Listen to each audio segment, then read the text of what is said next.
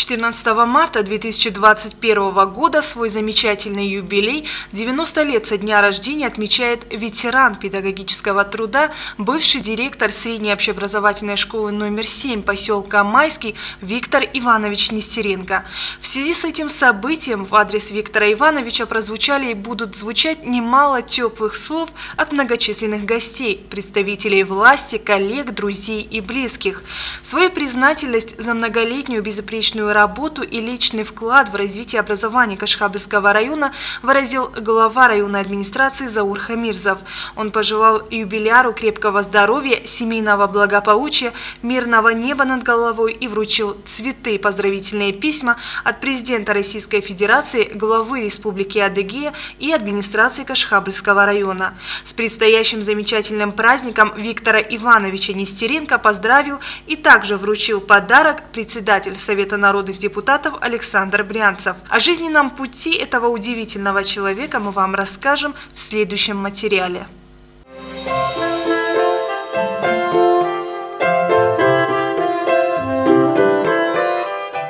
В жизни каждого человека происходит много радостных событий. Некоторые даты, такие как день рождения или день свадьбы, принято отмечать ежегодно, но особо торжественно отмечают юбилеи. 14 марта свой 90-летний юбилей отметит замечательный и всеми уважаемый человек, педагог с большой буквы, талантливый руководитель, ветеран педагогического труда, бывший директор СОШ номер 7 поселка Майский Виктор Иванович Нестеренко. В таком возрасте к знаменательной дате относятся с особым трепетом, ведь позади осталась значительная часть жизненного пути. Расскажите нам, пожалуйста, откуда вы вообще родом, где вы родились, где учились?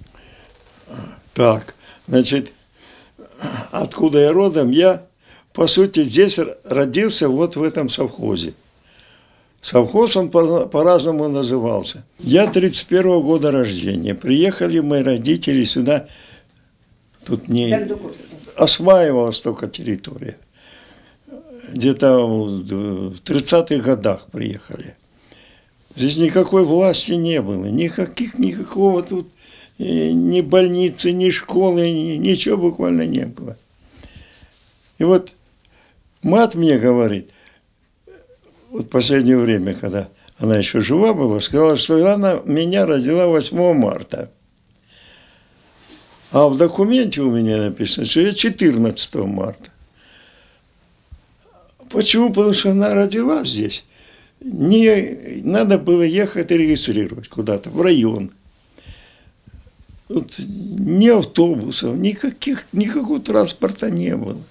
Дорога была бита, такая гравием насыпана, до Кашкабля сюда ехать это страшное дело. Вот. И вот в связи с этим она на неделю записала меня позже, чтобы не оштрафовали. Там же надо было течение месяца после рождения зарегистрировать ребенка. Поэтому я вот здесь вот родился. Школы никакой не было. У меня э, старшая сестра и старший брат. Вот старшая сестра, я знаю Зина, на 4 года старше меня, ее царство небесное, ее уже нет. Так она училась в первом классе в станице Дундуковской, там э, моей матери брат жил.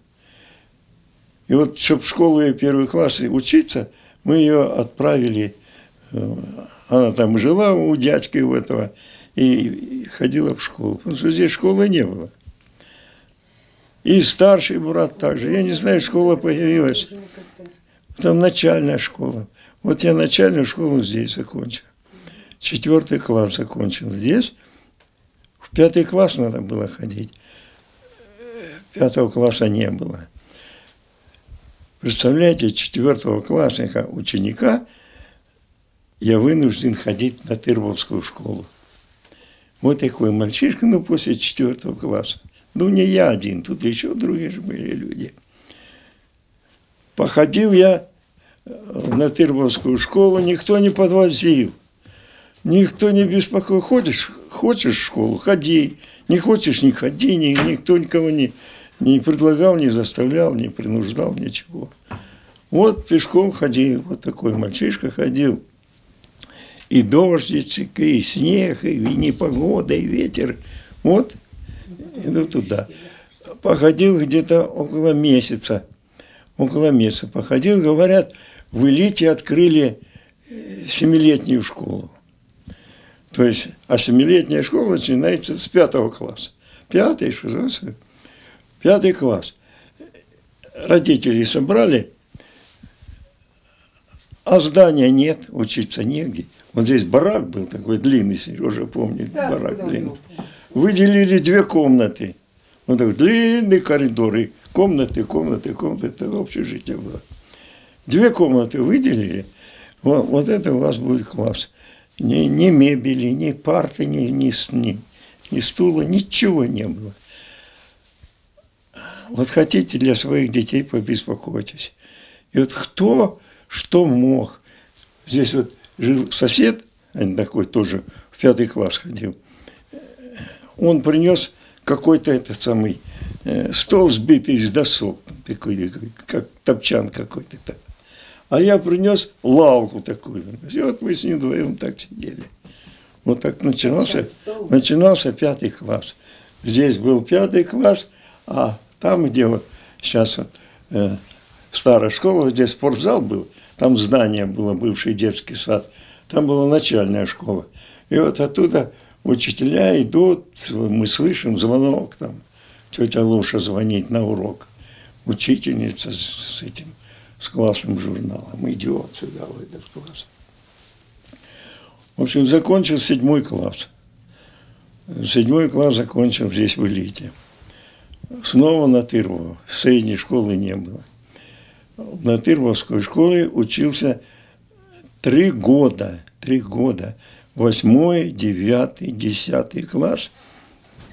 Каждый день в 8 часов начала занятия – Каждый день поднимаемся рано утром и пешочком идем. А с сентября, уже ж осень, и дождик идет, а потом снег пошел, и все пошел. И вот таких три года. Вот 8-10 классов я закончил в, в Натырловской школе. А после школы? Вот. В 1951 году я закончил среднюю школу в этом же году поступил в Майкопский учительский институт. Майкопский учительский институт на факультет физико-математический факультет. Вот. Хотел э, поступить в военное училище, хотел э, летчиком быть, а когда уже вот уже повестку прислали для отправки в училище, комиссия была, и все-таки я комиссию не прошел. А комиссия мне рекомендовали любое военное училище выбирай, кроме э, летного и морского. То есть что-то я не знаю. А я нет никакого училища, я не хочу, кроме только летчиком хотел быть. Ну, тогда идите свобода. Я пошел в институт, поступил. Учительский институт. Учительский институт закончил – Здесь у нас в элите семилетняя школа. Это я закончил в 1953 году. Меня по направлению направляли, тогда же направляли после учебного заведения, в распоряжение Камчатского облано. Я приехал домой, матери рассказываю. Мама, меня посылают работу на Камчатку. Она подумала, подумала, никуда ты не поедешь. Почему я никуда не поеду? Я же, меня направили, я же, государство учило меня, э, стипендию туда-сюда, все это. Даже я должен отработать какой-то какой срок. Никуда ты не поедешь. Я умру. Это сейчас самолет сел там, через там сколько-то часов уже там на месте будешь. Я умру, ты не успеешь, не приедешь меня хоронить. Ну, раз мать сказала, не поеду, значит, думаю, как же я? Тогда не поеду. Пришел в институт, заявил, сказал, что я не поеду, потому что мать у меня больная, уже, уже, я ее не могу бросить. Ну, там была целая история, там принуждали меня, заставляли, но все-таки я не поехал. Вот поступил, значит, меня приняли здесь в эту местную семилетнюю школу. А в 50, это третьем году, в 53 году наша семилетняя школа по приказу была переведена в среднюю. То есть ученики седьмого класса пошли в восьмой класс. Вот так я попал сюда в школу, вот, учителем. Один год поработал учителем. Мне прислали повестку в армию. Наш директор школы здесь был, Хорошев Юрий Сергеевич, военкомат, как же учитель, учебный год начался, учить некому, детей сюда. Мне еще отсрочку дали. Второй учебный год начинается, 54 год. Снова повестку прислали. Уже, значит, нашего директора, я не знаю, или его не было, или никуда. Некому было за меня походатайствовать. Меня призвали в армию. И я в армии три года служил. После армии приехал домой, но поступил уже э, Майкопский учительский институт, перевели в педагогический институт. То есть учительский институт давал незаконченное высшее образование и готовил учителей семилетней школы. А педагогический институт – это учителей средней школы. Я поступил э, там по льготным условиям, возил пединститут на физмат, и вот закончил э, пединститут. У меня два диплома сейчас. В 1991 году Виктор Иванович ушел на заслуженный отдых – Стаж его педагогической работы составляет 44 года, 35 из них в качестве директора своей родной школы. Этот человек сделал все возможное и невозможное, чтобы дети поселка могли получить достойное образование в комфортных условиях. Его твердая уверенность в себе, огромное желание раньше обозначенного срока открыть большую, новую светлую школу помогли ему воплотить в жизнь все свои идеи. За неоценимый вклад в открытие школы Виктора Ивановича Нестеренко по сей день благодарят. Работал учителем, вот, потом назначили меня директором школы с 1 января 59 года. 1 января 59 года. И сколько лет вы проработали директором школы? Директором школы я проработал без перерыва 35 лет. И я сколько работал здесь, 12 лет в этих условиях проработал, все время добивался, писал письма, ездил к нашим руководителям. У нас завод и фирма селищной культуры был. У нас э, свое управление было в Краснодаре. Я к управляющим этими вот, ездил, сколько письма писал, все. От родителей ходатайствовать, что надо было школу строй. А совхоз развивался, развивался, развивался. И в каком году вы Рабочих не, не хватало, рабочих не хватало. Наконец-то выделили деньги. А потом же школу строим на 960 мест. Там кабинеты физики, кабинет биологии, кабинет химии. Вот что-то, столовая на 120 мест, спортивный зал, там, все, что нужно, библиотека, что должно быть, какие требования были вот в то время. Нам дали хозяйственным способом деньги выделили. Я до сих пор помню, 550 тысяч. Вот проектная стоимость э, школы на 960 мест, трехэтажное здание, что сейчас, 550 тысяч выделили. А сколько лет длилась стройка? Стройка длилась где-то чуть больше года. В нашей школе каждое перекрытие, каждая батарея, каждый, значит, все-все знает меня. Меня знает. Потому что все доставал я. Я кроме кирпичей доставал, кроме там песок, глину, там ну, все такое строительные материалы. А все остальное, все доставал, ездил по всему свету, доставал оборудование. Мне помогли это, э, секретарь обкома партии был Маракуша Анатолий Кириллович. Вы, конечно, не знаете его. Он э, от нашего, от нашего вот округа баллотировался в областной совет депутатов. Областной тогда Адыгеев входил в состав Краснодарского края. И вот он приехал на встречу к избирателям. И меня назначили доверенным лицом его.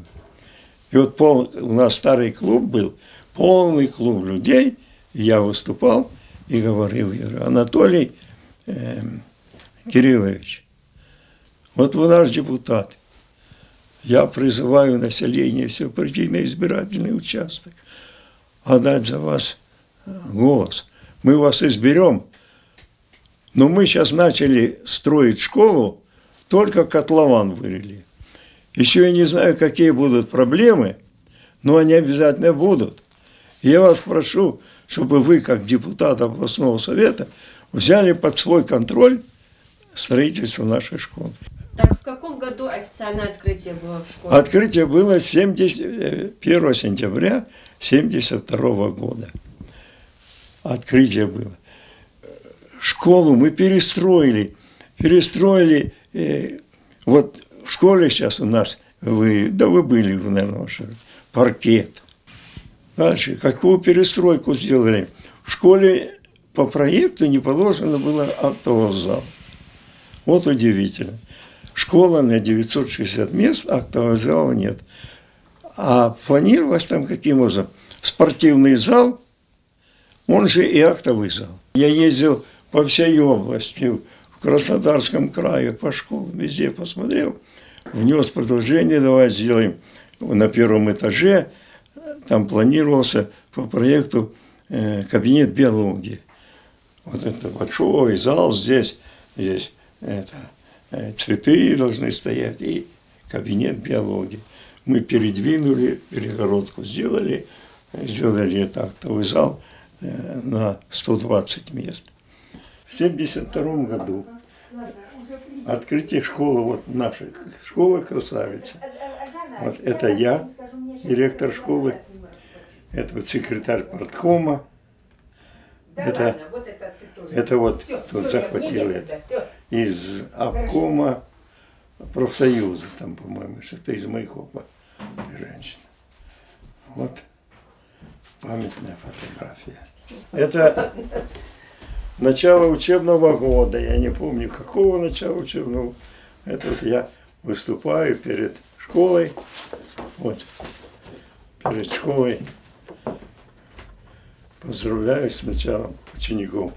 Виктор Иванович служит примером не только как профессионал своего дела, но и как замечательный семьянин. Со своей прекрасной супругой, по совместительству коллегой, тоже ветераном педагогического труда, обладателем ордена «Знак почета», Любовью Ивановной вырастили и воспитали в любви и согласии троих достойных сыновей – Подводя итоги прожитого, считаю, что жизнь на 100% удалась, отмечает именинник.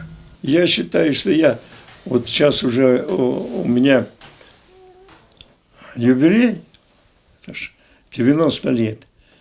Как говорится, в таком возрасте надо уже подводить итоги своей жизни. Я уже их подвел, эти итоги. И считаю, что моя жизнь на сто процентов состоялась. Я вырастил троих детей, три сына. Все сыны имеют ученую степень, кроме того, что они школу закончили. Два из них сына имели золотой медалью.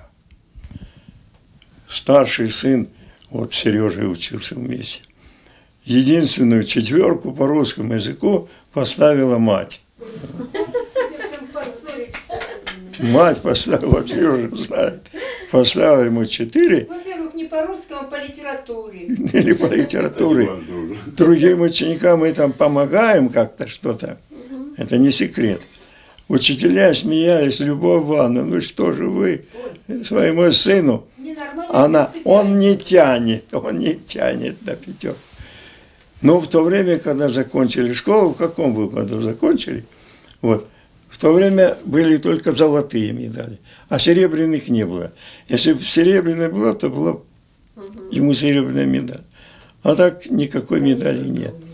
Так он закончил политехнический институт, после этого закончил аспирантуру, защитил диссертацию и сейчас кандидат технических наук. Второй сын, золотой медалью Игорь закончил нашу школу, поступил в Краснодарский или Кубанский медицинский институт. С отличием закончил, получил красный диплом. Один год поработал в иными, иными хирургом, потом поступил в московскую аспирантуру. Там закончил аспирантуру, защитил диссертацию – как он, кандидат, кандидат наук, кандидат наук медицинских. Его назначили, он был руководителем э, Центра трансплантации города Москвы. Сейчас реорганизация, сейчас эту организацию закрыли, и сейчас он работает доктором, вернее, э, хирургом, трансплантолог. трансплантолог делает сложнейшие операции, пересадки почек. Он не лечит людей, а спасает людей. Там столько больных, которым надо заменить почку. И вот он эти сложнейшие операции он делает э, в этом э, больница Боткин, Боткинская больница. И он защитил, защитил уже э, докторскую диссертацию мы вот с Любовью Ивановной, женой, были на защите докторской диссертации в Москве. Это какая прелесть. Сейчас он доктор медицинских наук и еще профессор. Третий сын тоже золотой медалью школу закончил. Поступил в Москву, конкурсный экзамен, с первого экзамена сдал экзамен на пятерку, Институт тонкой химической технологии или Институт тонкой химии. Нет, и технологии. Вот. А параллельно, уже на последних курсах, параллельно открывался факультет э, банковских работников, готовили для города Москвы. И вот в начале там конкурс на этот факультет, конкурс был там то сын ректора, то декана, то сват, друг, таких там э, небольшая группа где-то, 15-20 человек. Его не зачесть, там нужно требовать, чтобы он отличник был, во-первых, по всем предметам, отличник, чтобы был э, активист. Вот. А он был как раз комсорг в этой группе. Участвовал у нас такой артистического плана. Он и стихи там читал, и, и, и этих вообще самодеятельности участвовал, вообще активный такой парень. По всем вопросам подходит, а его не зачислили. Говорят, вы не москвич. Он тогда, обидевшись, пошел к юристу проконсультироваться. Правильная аргументация, что его не зачислили. Юрист выслушал и говорит, неправильно – вы поступили в институт, у вас паспорт есть? Есть. Там штамп стоит. Зарегистрирован гражданин города Москвы вот с такого-то, с 1 сентября по такое-то, когда заканчивается институт. Через там 6 лет или там сколько-то. Вот закан... А сейчас какой год? Еще два года вам москвичом быть. Вы москвич. Поэтому аргументация это неправильно. Пишите заявление на там, спорная комиссия. Он написал заявление. Там э, заседание здесь действительно по всем вопросам он подходит, а тут оказывается он и москвич. Вот пришлось кого-то там отчислять, И его, ну, там ему угрозы пошли, отличник, мы посмотрим, как ты будешь учиться, как будешь, и все такое. А он закончил институт с красным дипломом, вот, и закончил э, вот эти курсы, факультет. Его оставили в этом же институте на кафедре этого факультета, который новый открыли. Вот он там еще поработал как отличника. А потом перешел в этот, э, закончил аспирантуру, и сейчас э, кандидат экономических наук. Потом после этого закончил там высшие-высшие какие-то экономические курсы. Сколково. Скол, Сколково. Высший экономический курс, где преподаватели были зарубежные, там очень сложно делать. Ну, Сейчас работает в банке заместитель, председатель правления банка. Работает успешно, очень хорошо все. Считаю, что жизнь моя состоялась очень хорошо. Детей вот вырастил, сейчас они все два, два сына в Москве, и работают, и квартиры у них там, и, все условия, все есть на, на хорошем, на почетных местах. Все по, э, большую пользу приносит и, и стране, и себе, и, и нам помогает. А первый сын, самый старший сын, был в Невиномыске, был много лет директором, генеральным директором э, там, маслозавода. Мы не могли упустить такую возможность и не поговорить и с самой Любовью Ивановной. Любовь Ивановна, в каком году вы познакомились со своим мужем, когда поженились? Познакомились мы в 58 году, и э, в первый, э, на первом свидании он после первого поцелуя э, сказал мне, ты выйдешь за меня замуж на первом свидании? Выйдешь, значит, мы продолжаем встречаться. Может, странным где покажется вот обилие икон. У нас Игорь, тот, который в Москве пересаживает почки, он любит, настолько любит путешествовать. Ну, во-первых, он по всему миру с лекциями ездил. И где бывает, в монастырях бывает, и обязательно оттуда привозит. Мама, я вот из этого. Угу. А это и вообще любимый его э, святой крымский Лука, он же врач был. Вот. А, э, и это тоже, все это Игорь привозил. А это в 50 лет мы с мужем повенчались. И э, вот где мы венчались, чем нас венчали, вот это вот там тоже Сережа наградил. 55 лет своей жизни эта женщина посвятила школе. Она была учителем русского языка и литературы. Все это время она опиралась на надежное плечо супруга. Он всегда был ее поддержкой. Больше всего Любовь Нестеренко ценит такую черту характера в своем муже, как верность. За 62 года совместной счастливой жизни она ни разу не пожалела о своем выборе. И в день его рождения она в первую очередь желает ему и дальше быть в здравии, ведь вся ее жизнь заключена в любимом и родном человеке. Как было отмечено ранее, у Читы Нестеренко три сына, которые подарили им четырех внучек, двоих внуков и одну правнучку. Одни ими очень гордятся. Большой удачей в своей жизни Виктор Иванович считает встречу и брак со своей супругой. Мне в жизни повезло. Я благодарен своей судьбе, что я встретил вот такую красавицу, Ой. Любовь Ивановну. Мы с ней вместе работали в школе. Я на нее опирался. Она помогала мне работать, показывала образец работы всему Пелецкому. Вот любого населения в совхозе, спросить старших, говорят, элитовская школа, это ассоциирует как это Любовь Ивановна Истерина. Виктор Иванович построил целую школу, воспитал троих сыновей и шестерых внуков, посадил множество деревьев, а еще обучил сотни ребятишек, вложил доброе и светлое в сотни детских сердец. Этот человек является почетным жителем поселка Майского. Этим званием он очень гордится и дорожит. Хочется пожелать имениннику и его супруге долгих лет жизни, здоровья и счастья. Натуся Кчмезова, Сергей Лапынцев, Новости Кашхабского района.